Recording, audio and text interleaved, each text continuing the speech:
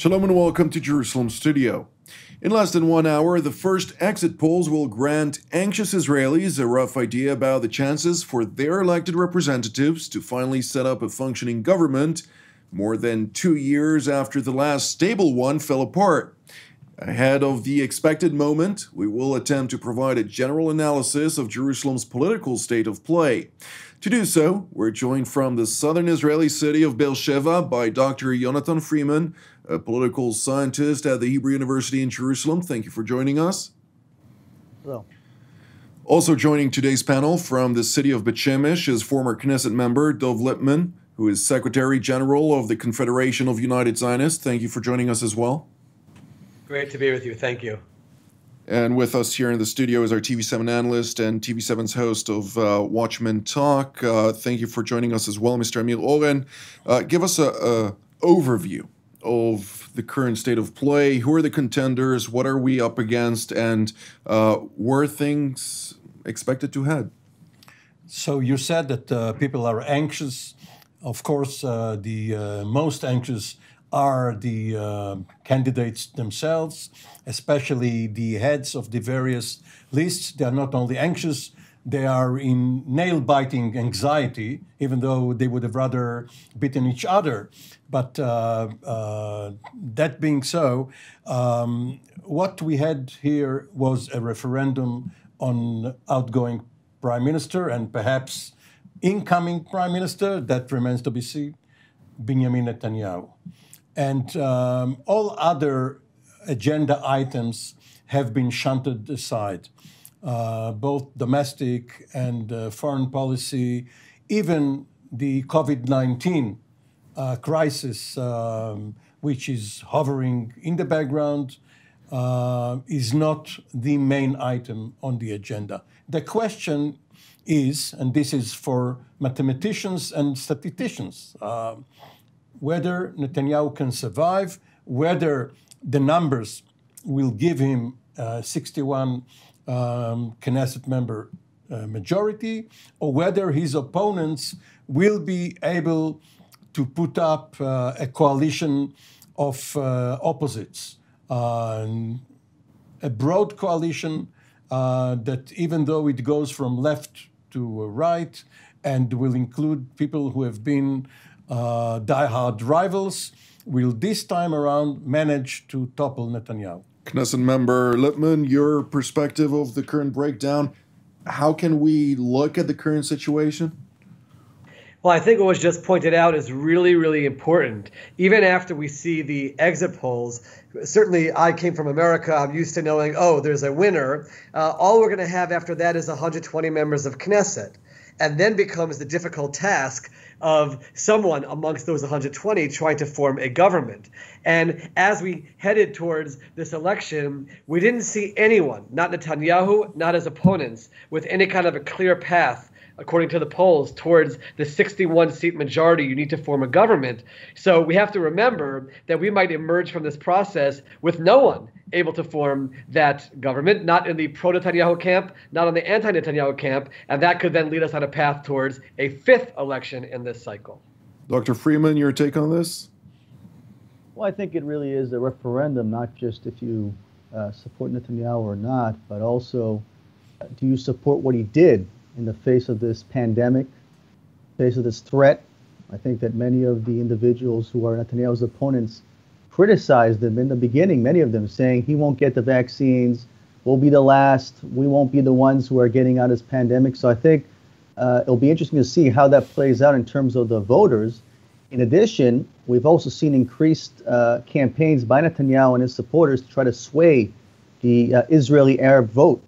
Uh, and it'll be very interesting to see whether or not many Arab citizens of Israel, uh, in the end, vote for Netanyahu, vote for his uh, supporters. That could be really a, a major uh, influence on this election.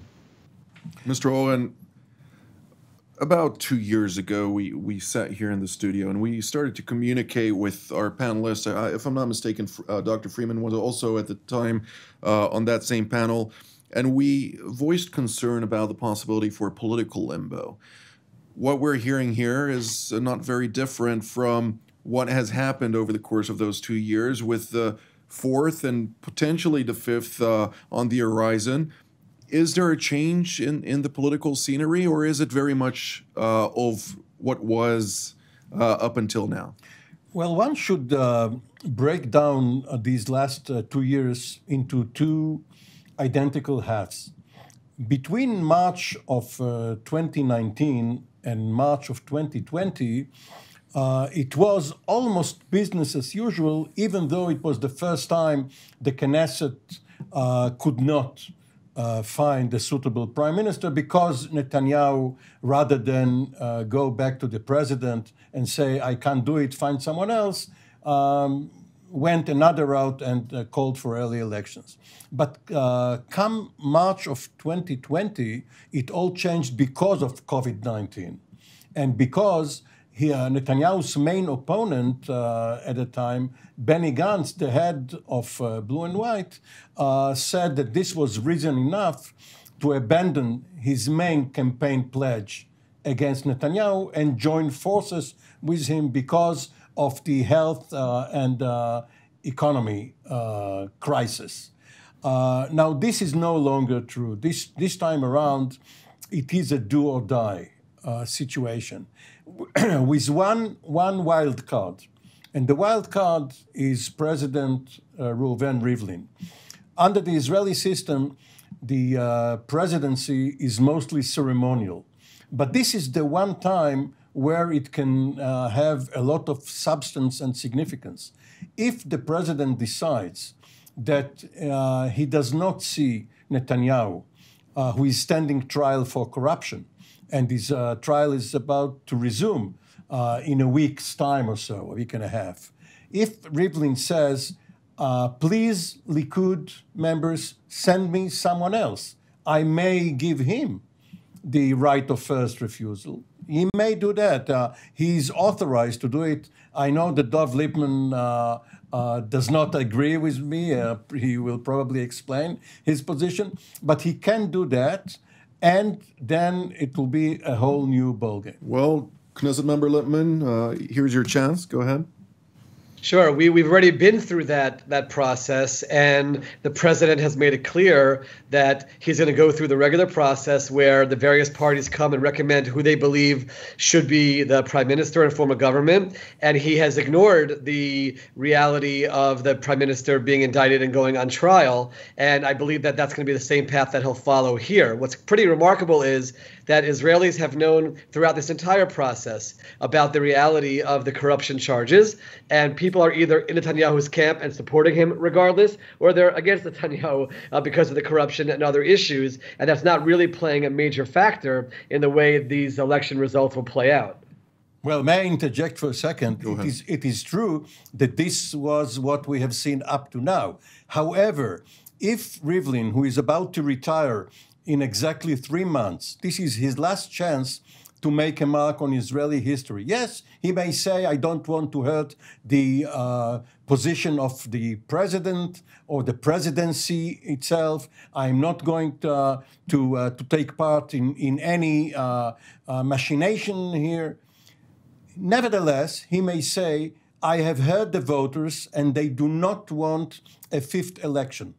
And if I have to choose between two evils, I am choosing the one that Dov, you just mentioned correctly, he has not chosen up to now. So we are at a juncture where, if the numbers uh, uh, provide such a, for such a situation, maybe he won't be uh, uh faced with this uh, choice. Uh, but if he does, he may ask the, the parties, what is your second preference? Yes, you are for Mr. Lapid or Mr. Netanyahu. I understand all that. But if we get into a deadlock, who will be your second choice?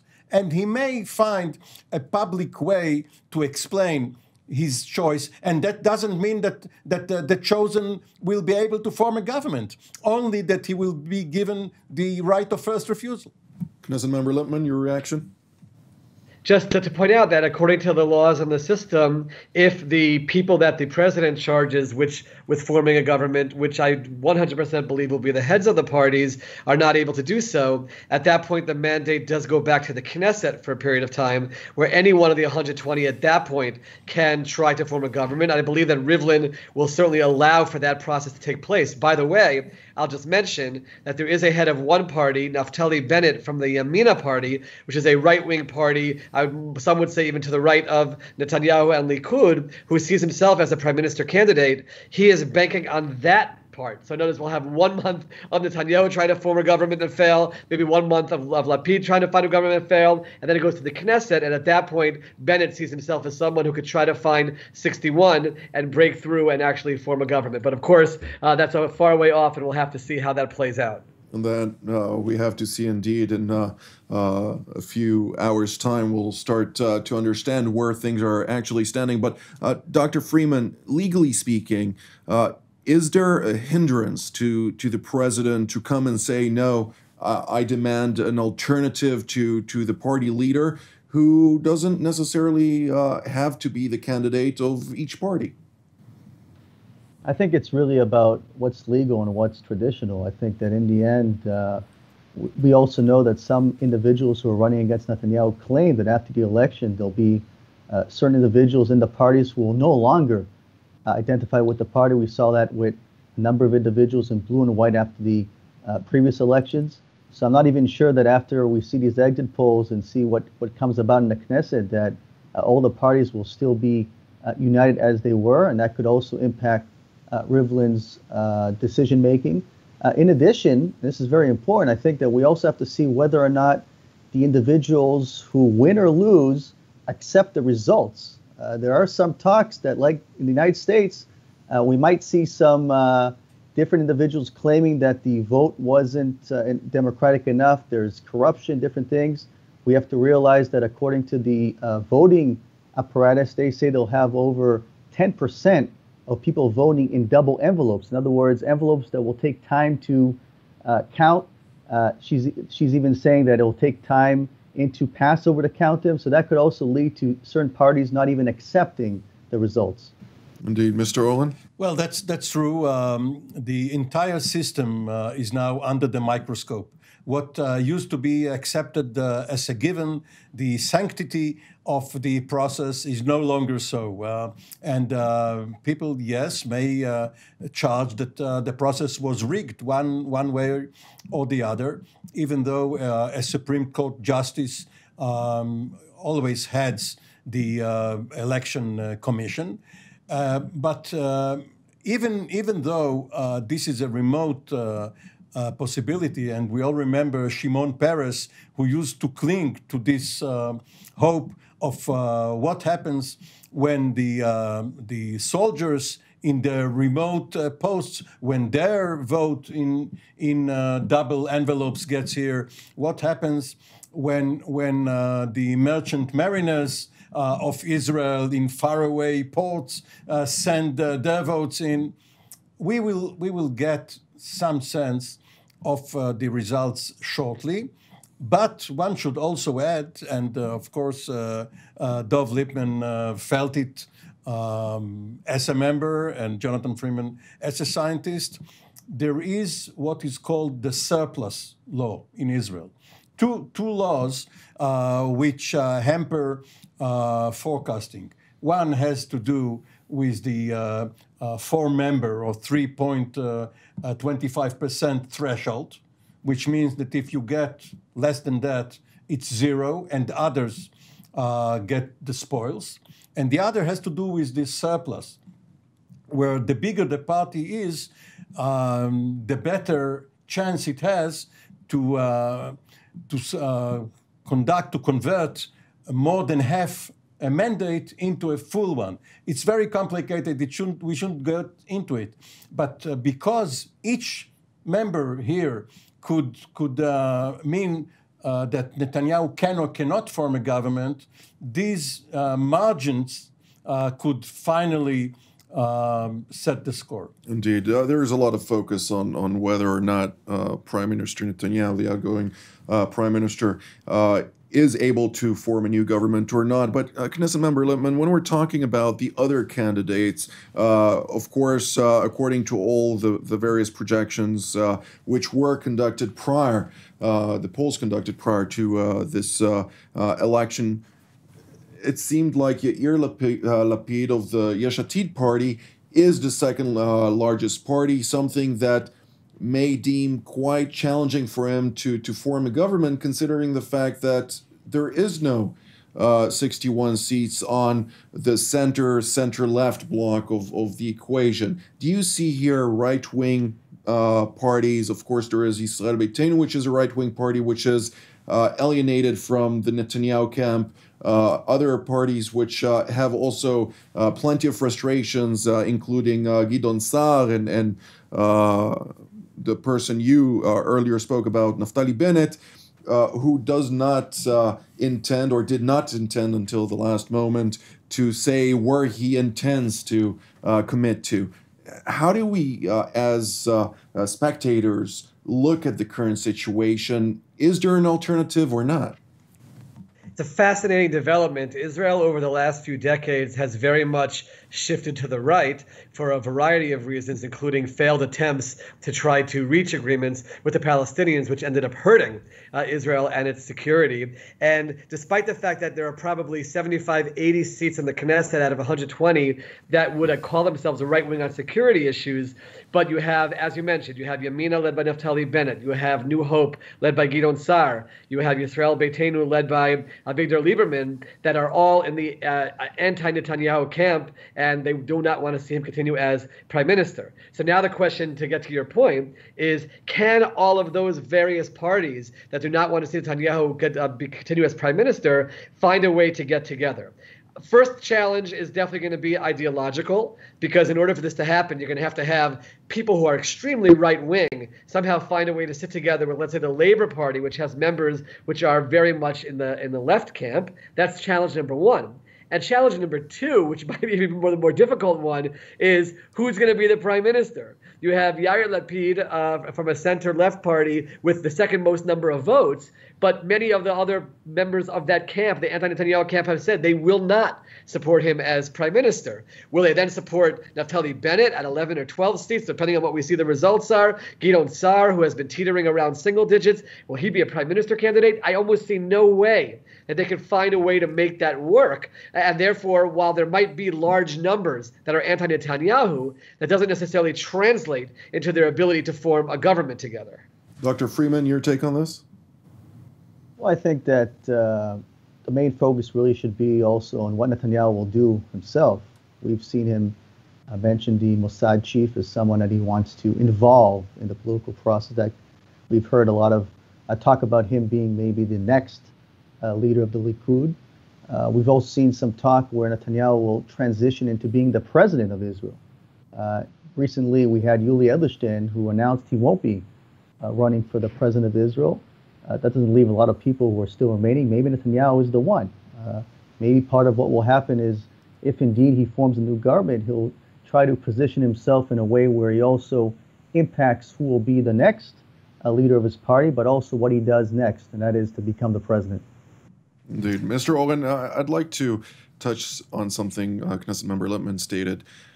The majority of Israelis, according to the, the talk in Israel, uh, domestic uh, conversation, is that the majority of Israelis are slowly turning right, even though uh, when I try to look at the situation and to analyze the various trends uh, of uh, and statements made over the course of the various years, it seems that the public perception of what actually means to be right and left is not necessarily the same as it was back in the 90s and prior to that, considering the fact that if we consider that Prime Minister Netanyahu uh, in 2009 acknowledged a two state solution as a viable option, that is something that uh, uh, uh, the slain prime minister, the assassinated prime minister, um, uh, Yitzhak Rabin, would have never agreed to, considering the fact that he never agreed to a Palestinian state in the first place, including as part of the Oslo Accords. So, uh, how do we see this trend actually more of a, a perception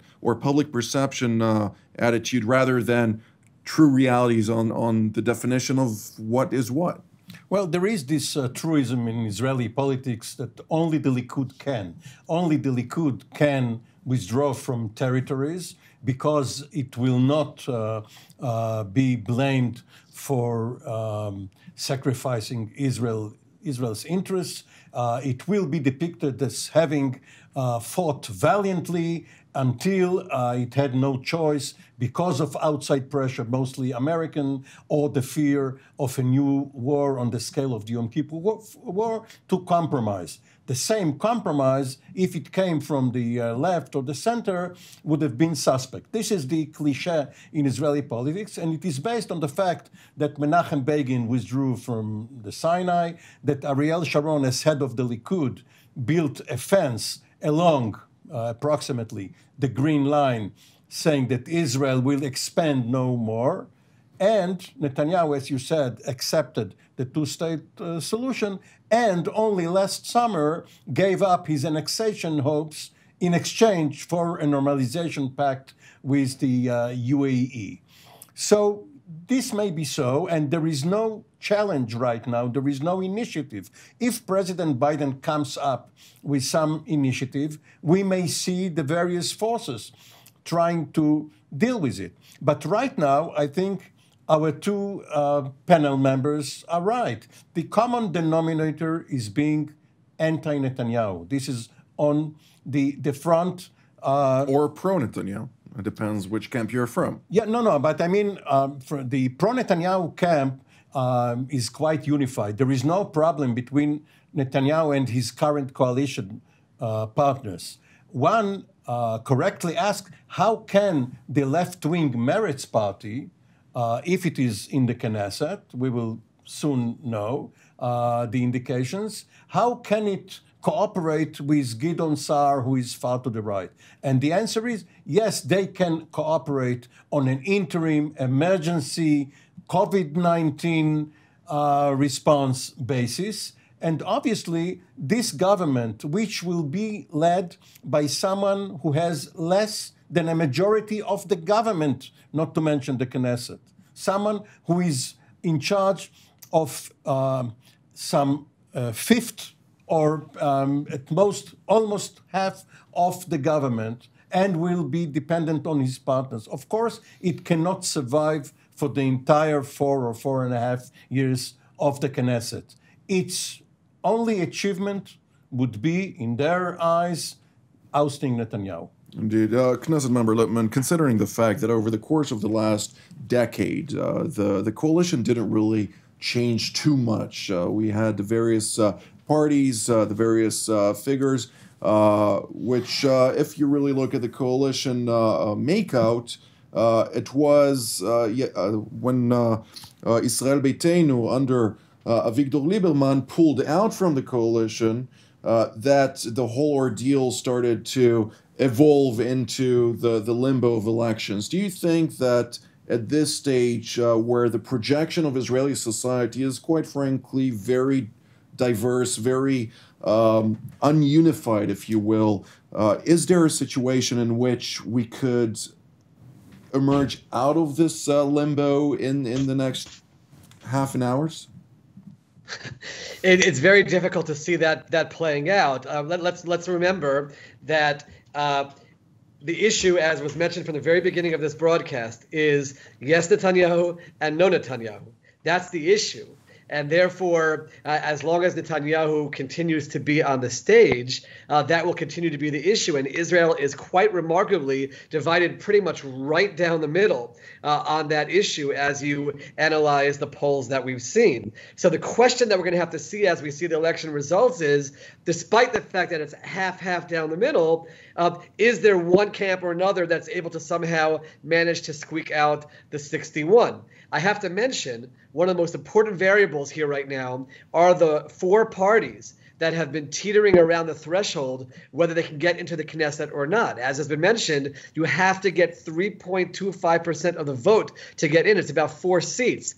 What happens if one, two, three, or four of those parties don't reach that threshold, but they re- they had three seats and not the four seats? Now all of a sudden those get divided amongst other parties and throughout the spectrum, and that can very, very significantly change the results. I should mention out of anyone in this whole mix, the one who actually has the the the clearest path, a difficult path, but the clearest path towards 61 might actually be Netanyahu himself, uh, assuming that Naftali Bennett cracks and does join together with him to bring him over the finish line. So I don't think Netanyahu is going anywhere so fast. And as long as he's still on the scene, we're going to be stuck in this cycle and being split down the middle as a country.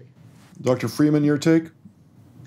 Well, I think the focus uh, is very much, as has been said here, are you with Netanyahu or against him? But I think I think it's also who do you think can deal with the current situation? Is it Netanyahu or somewhere else? Uh, the COVID situation, uh, what's going on with Iran, the new administration in the White House. So I think it is true uh, that many people think, am I with Netanyahu or against him?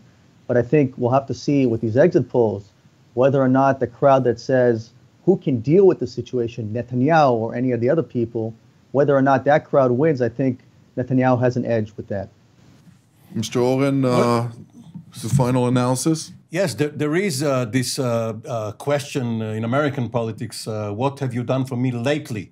Don't tell me what you have done throughout uh, your four, eight, 12 years. What have you done for me lately? Netanyahu has tried to answer that by saying, I brought you the vaccines. The answer, of course, yes, you brought the vaccines to Ben Gurion Airport, but the uh, Israeli health maintenance organizations, uh, Kupat Cholim, uh, did the rest. And uh, just like Churchill at the end of World War II, thank you, uh, Sir Winston, but we'll take it from here. So, yes, many people are thankful for what Netanyahu did in the latter part of the COVID 19 crisis, not the first part, not the 10 years when he uh, robbed the health ministry out of resources in his opponent's eyes. And we will have to see what the balance is. Well, we'll uh, remain anxious uh, as we're drawing near to the exit polls, but I'd like to take this opportunity to thank Dr. Freeman and uh, Knesset member Lipman for being part of today's panel. I'd like to thank Mr. Hogan as well, and I'd like to thank our viewers, and we will see you next time.